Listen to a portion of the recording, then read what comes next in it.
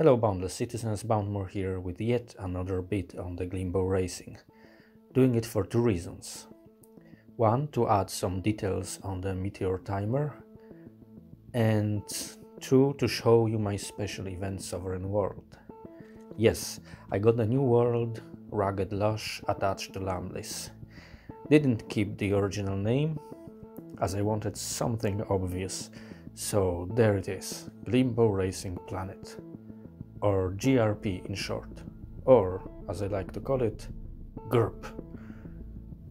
Here's the portal for you on the sovereign wall of the main TNT hub at Circarpous. The world is accessible to public to visit and scavenge. I built a small shelter serving as the starting point, a base of sort. You can buy an empty atlas here for easier mapping should you like to use it but forgot to bring one with you. Also, plain Gleambow totems if you are a forger or can take some to someone you know for forging. On the opposite side, a stand with forged Gleambow totems. Affordable, simple Gleambow meteor breakers.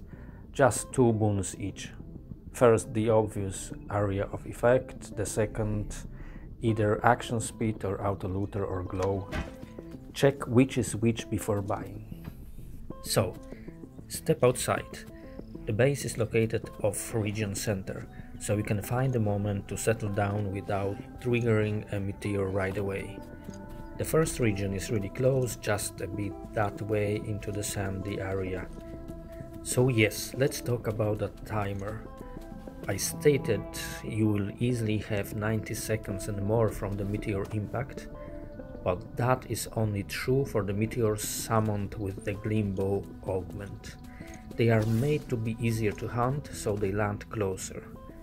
The natural, even time region triggered Gleambow meteors land farther away on average.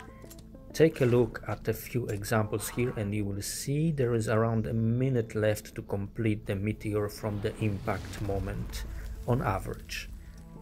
That also reinforces my conclusion from the Gleambow guide that the timer starts sometime around meteor spawning moment and longer travel time of the triggered meteors mean less time to complete them when they hit the ground.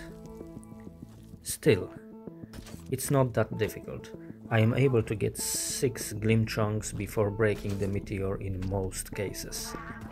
I usually get on the meteor when the timer go below 30 seconds.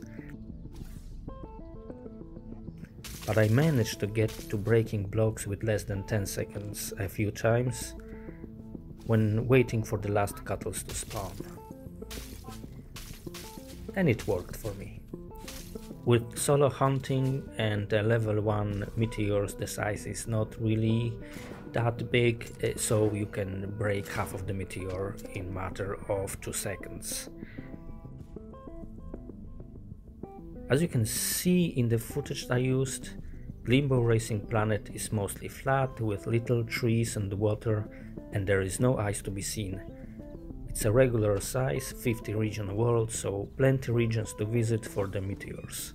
I will keep this world alive for the initial month at least so even after the Gleambow racing is over, you can use it for regular hunting or maybe gathering of resources or blocks.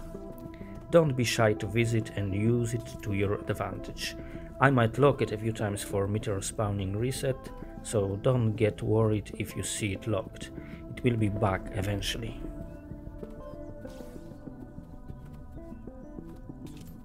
That's it folks, thank you very much for watching hit like, subscribe and all. I very much appreciate your views. Also, Happy New Year everyone, as we are only a few days away from it. And remember to stay boundless.